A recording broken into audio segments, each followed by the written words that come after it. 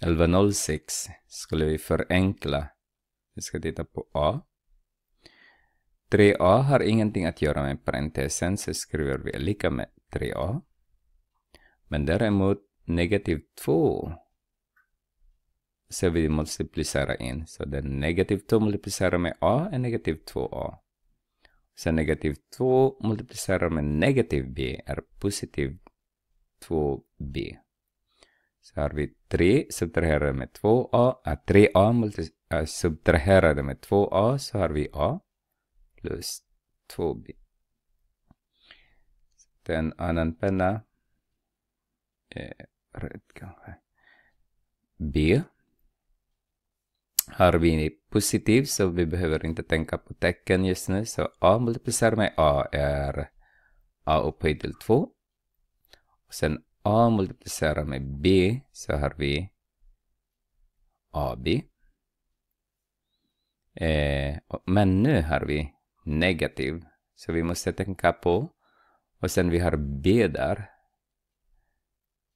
Före. Jag skulle skriva om det Jag skulle skriva om här någonstans. Eh, har negativ b multiplicerar med a minus b. Eh, kommutativa heter den. Så det spelar ingen roll vilken ordningen. Så har vi negativ b multiplicerar med a är negativ ab. Sen vi har negativ b multiplicerar med negativ b blir det positiv b upphöjt till 2. Förenklar man den Ser ni att den här och den där tar varandra, det blir noll. Så svaret blir A upphöjt till 2 plus B upphöjt till 2. Eller adderar med B upphöjt till 2. Där har vi en annan penna så att uh, vi har olika pennor. C. Då har vi 3. X, det är positiv, så vi behöver inte tänka på tecken. Så vi har 3 multiplicerar med 3x multiplicerar med 2 har vi 6x. Sen vi har negativ 3x multiplicerar med y. Det är fortfarande, oj det nästan ser ut som y. Ska sudda bort den.